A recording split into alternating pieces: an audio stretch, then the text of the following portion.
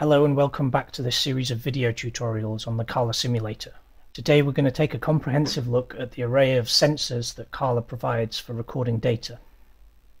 Modern autonomous vehicles use an array of different types of sensors in order to interpret their environment and make decisions about next actions. For example, to accelerate or brake, or to avoid another vehicle, or to change a lane or turn. Carla models a number of different types of sensors that are used in modern autonomous vehicles in order to facilitate the production of training data and also testing for a multimodal approach to environment perception. In today's tutorial, we're going to talk about those different types of sensors and also show you how to use them through Carla's Python API. Probably the most widely used type of sensor in modern autonomous vehicles is a digital color camera. So Carla provides a model of a digital color camera, but we also have access to certain privileged information because we're simulating everything. We also know what that camera is visualizing. So which parts of the image are vehicles, buildings, pavements, parts of the road, or road signs or traffic signs, for example. And this means that we can provide the semantic ground truth, which is another of Carla's sensors. We not only provide a simulation of a real world sensor, but we also provide access to the ground truth data. And that's exactly what we do with the different types of cameras. Since contemporary autonomous driving research supports a multimodal approach, and there are numerous methods for using things like monocular depth and optical flow, Carla provides an array of different types of cameras in order to support these different multimodal approaches. LiDAR is a laser ranging technique that uses a spinning laser in order to develop a regular pattern of range estimates as a 3D point cloud in order to build up a three-dimensional representation of the vehicle's environment.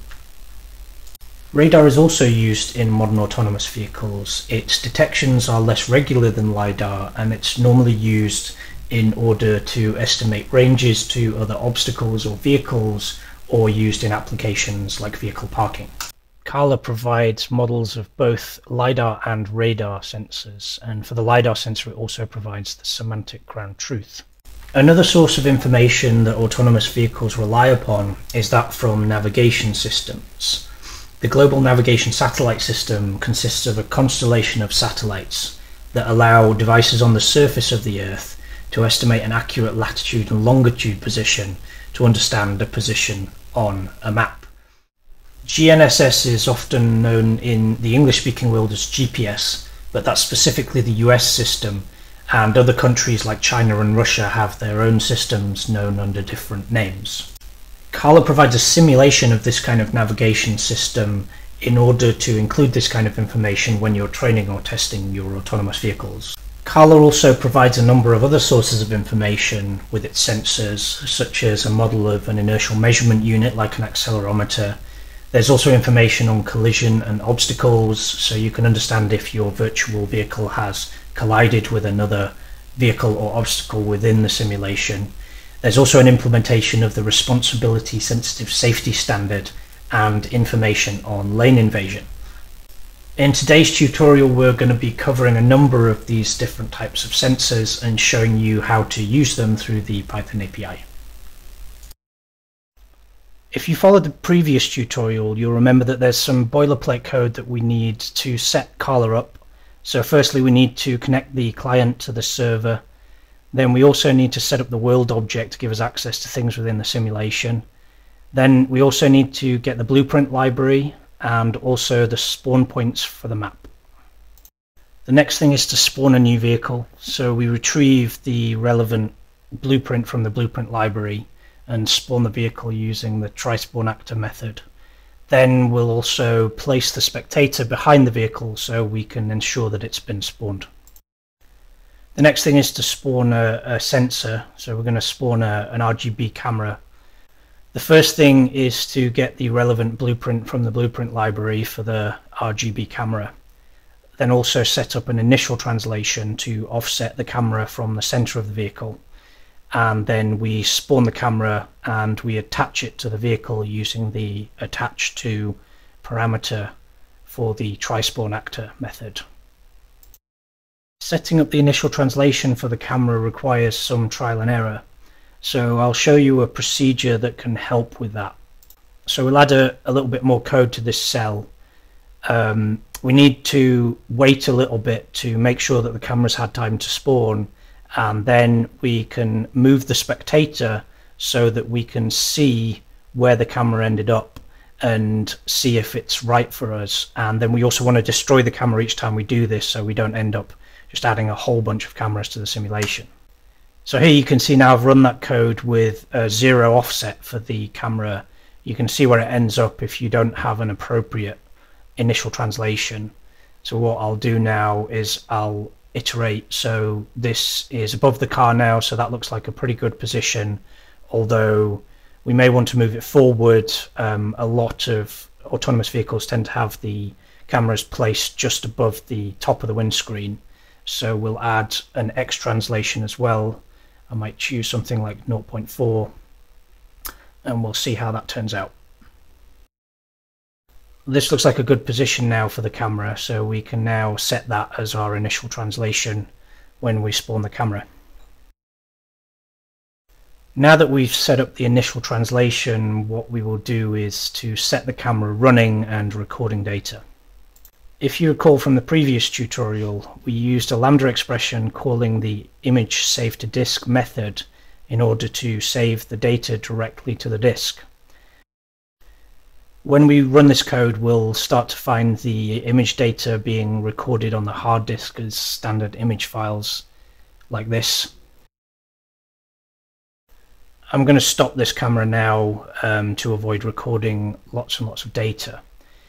So this would be the appropriate method to record data if you were going to train a neural network offline. So if you were going to train a neural network with a bulk of data that you'd recorded previously, but if you were going to train a neural network online, like for example with reinforcement learning, or you were developing some kind of VR application for a human user, you might want to stream the data to directly to the in, the input layer of your neural network, or you might want to stream it to a window so that a user can actually view the data um, in real time and drive the car. Here we're going to use a custom callback that looks like this. So the arguments are an image object and then also an additional dictionary which we're going to store the data in so that we can access it outside of the callback function. So we set the image field of that dictionary to the raw data, um, but because the raw data is like a flattened array, we then have to reshape that into a three-dimensional image with the dimensions of the height of the image and the width of the image, and then a third dimension of size 4 for the RGB and alpha channels. Now we need to set the camera recording data. First, we'll retrieve a couple of parameters from the camera, the default image width and height, using the get attribute method of the camera. Then we'll set up the dictionary to contain the image data and then render it to an external window then we'll call the camera listen method with a lambda function referencing the custom callback to stream the data to an alternate window. Next, I'll set the vehicle running using Carla's traffic manager. I'll call the set autopilot method from the vehicle object.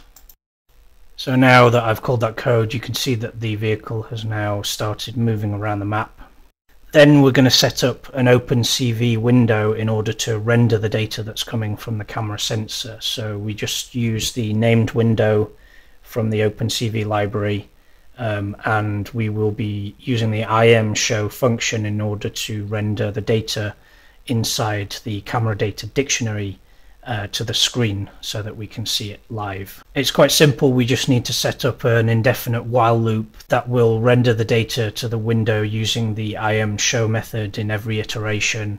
The data rendered is, is the data inside the image field of the camera data dictionary that we set up. We also have a break clause that will break the loop when the user presses the Q key while focused on the OpenCV window. Once the loop has been broken, we also want to shut and destroy the OpenCV window to get rid of it. When we run that code, it will open an OpenCV window that will render the live camera feed coming from the Carla simulator into the OpenCV window so that we can see it. Now that we've covered how to stream the data from a single camera to the, the screen, we'll look at the other types of cameras. So there are actually six different types of cameras in Carla. So I'll do the usual thing and connect to the client. Uh, then I'll add some traffic to the simulation. So if you want to look at the different types of camera that are available, you can filter the blueprint library for sensors and then look at the IDs. So here I have the different types of sensor that we can have and you can see them um, categorized as camera or LiDAR or other. Um, so if I specify camera in the filter, I'll get all the different types of camera. So these are all the different types of camera I can set up. So let's now set the traffic off and I'll spawn um, one of each type of camera. So here we've got the initial translation, which we previously talked about.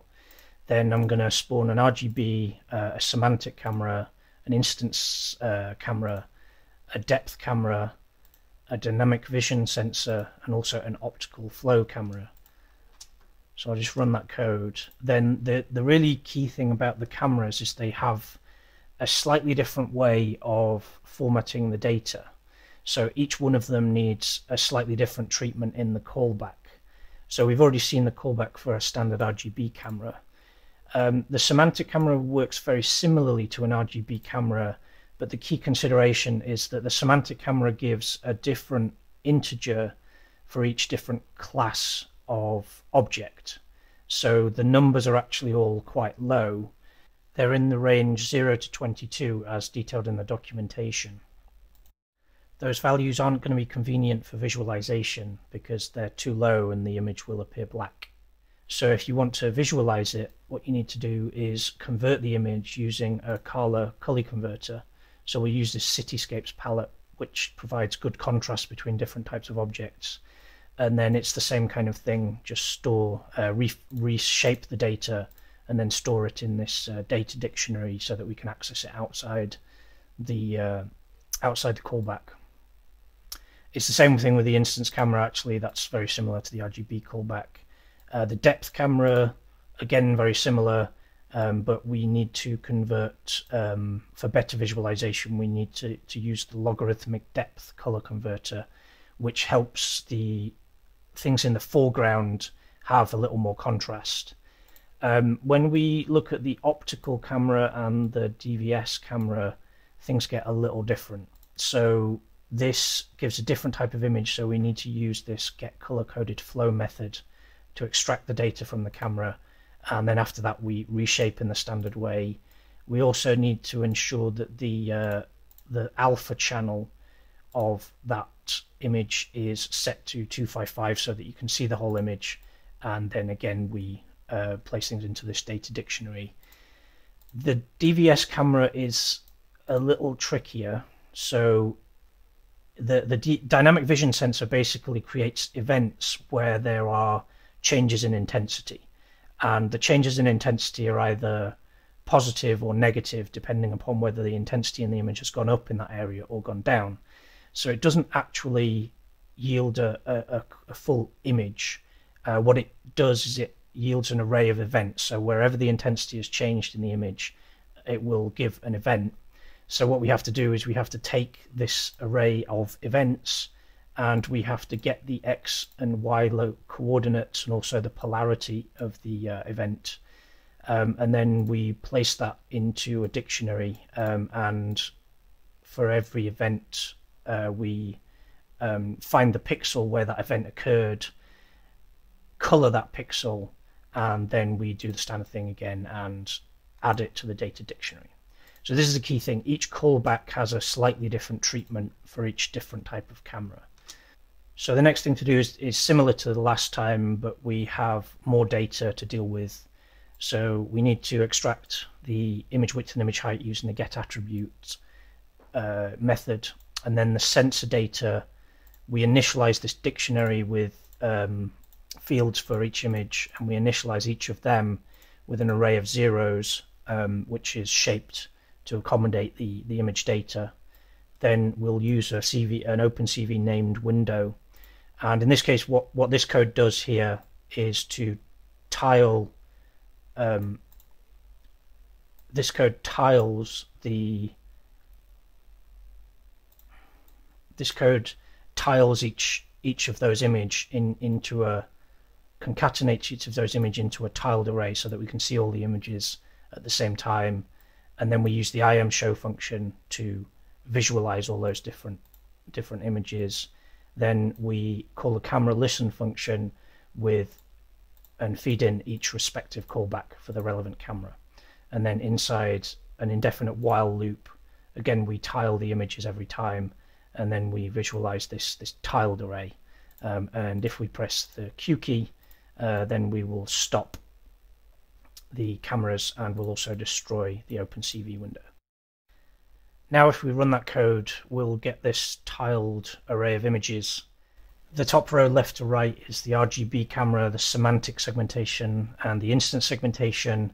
Lower row left to right is depth, DVS and optical flow. Now we'll take a look at the LiDAR and radar sensors. These are quite different from the cameras since they produce an array of 3D points which you can treat as a point cloud. Um, and in this case we will visualize them using the Open 3D library. Um, we'll also use some color maps from Matplotlib. So as per usual we'll add some traffic to the simulation and get everything moving using the traffic manager. These are just a couple of um, auxiliary um, things that we'll set up. So we set up a couple of color ranges. So we'll color the radar and LiDAR points according to distance and also velocity. So this is the LiDAR callback. So the first thing we have to do is we have to reshape the array according to the number of points and it's got four columns so that's x y z and the final column is the distance from the detector um, we then scale the distance from the detector so the last column of that array um, to map it to a color map so that we color things according to how far away from the uh, lidar sensor that they are. Um, we then um, extract the, the xyz coordinates so that we can form a point cloud.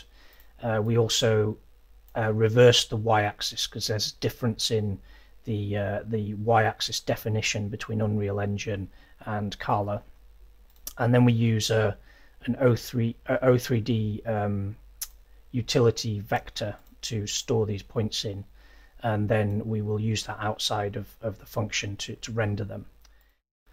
This is the radar callback. So it's different from the LiDAR in that each detection is actually defined by a depth, an altitude, and an azimuth defined according to the position of the radar sensor. So to calculate X, Y, and Z, we need to do a little geometry. Um, also, each detection has a velocity, and that's the velocity towards or away from the detector. And so we take that velocity and then we scale it to a color map, um, and then we just reformat the points so that we can create a point cloud with the coordinates, the XYZ coordinates, and then also the color according to the velocity. And we have the familiar camera callback just so that we have something to see what's going on in the simulation. Here we're setting up the LiDAR and radar sensors. So you can see that we're using the set attribute function to set up several parameters here. So this is more to aid with visualization for this example than anything else, but you might um, set some of these parameters to better model a particular uh, real world sensor that you're intending to simulate.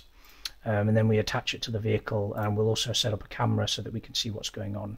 In this case, we're going to use some Open 3D functionality in order to visualize the point cloud. Um, and then as usual, we have a dictionary containing the camera data and we use the, uh, the listen function to set the sensors off. We'll use an OpenCV named window to display the camera data and then we use the uh, Open3D visualizer in order to display the point clouds.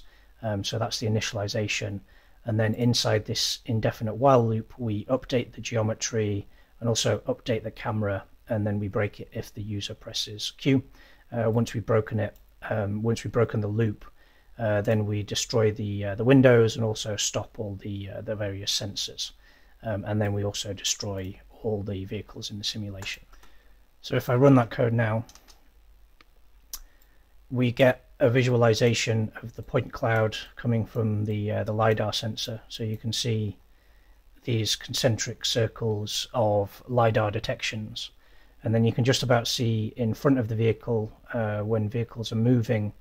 You can also see the the radar detections, these these green dots, which represent the radar detections when the vehicle is moving towards or away from another object. So they're less um, regular than the, uh, the, they're more random than the lidar detections, um, and so that's how you visualize the lidar in 3D.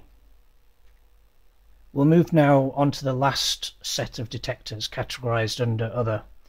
Um, so this would be the GNSS sensor, the inertial measurement unit, the collision sensor, the lane invasion sensor, and the obstacle detector.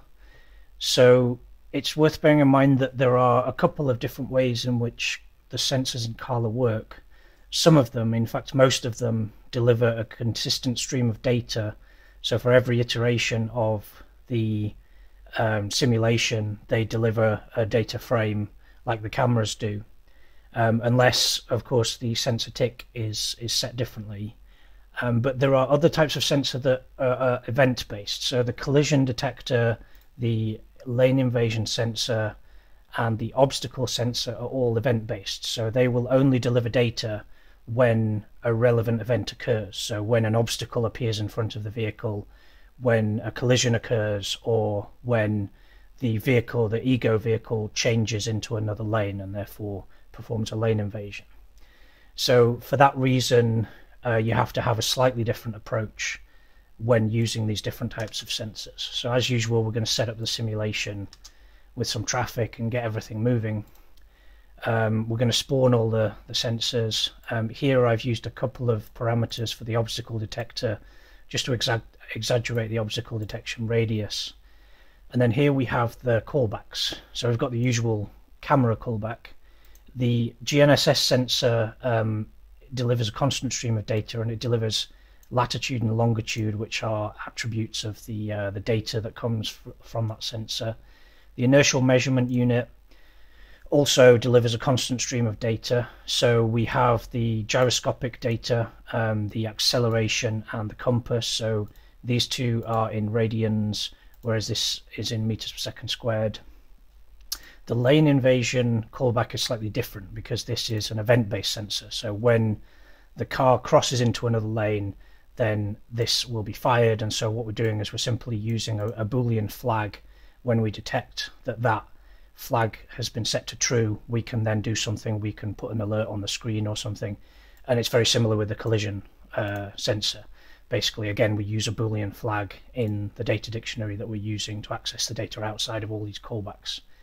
The obstacle callback is slightly different. So every time the the obstacle sensor basically it uses geometry in the simulation, so it it uses a kind of a um, a cone in front of the vehicle to detect if there are upcoming obstacles that the vehicle might actually impact if uh, some kind of action isn't taken.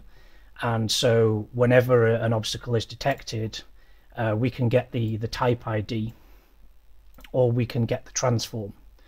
Um, so here we can see that I'm using a conditional statement here. So a lot of what the obstacle detector will detect is actually things that are static, like the road or things on the sidewalk.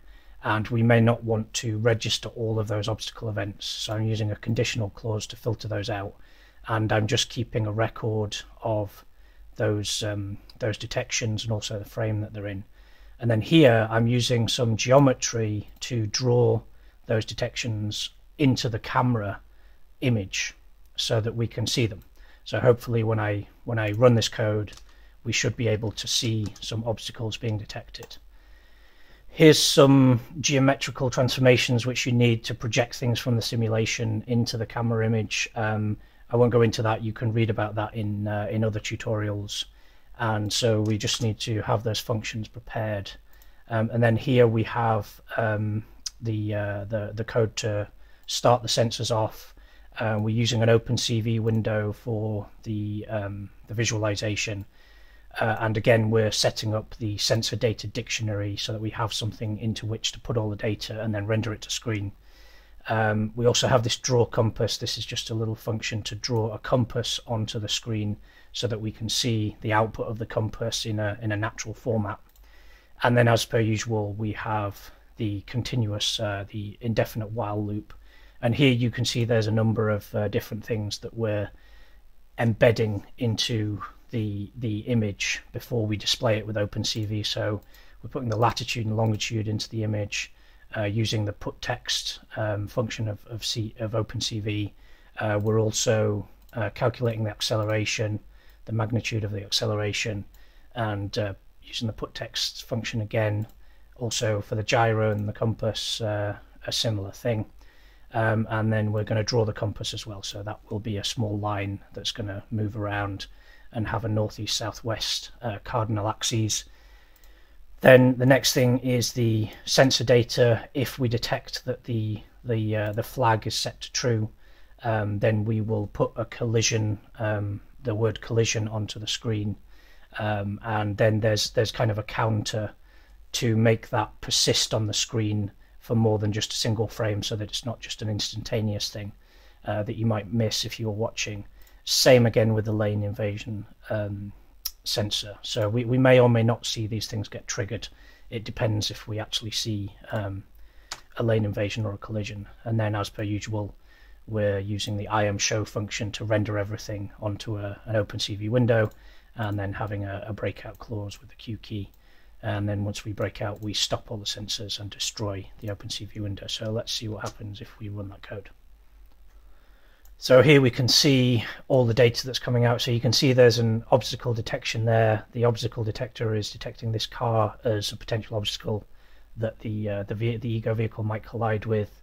And you can see all the data coming from the various sensors here, the latitude and longitude from the GNSS sensor, the acceleration coming from the inertial measurement unit.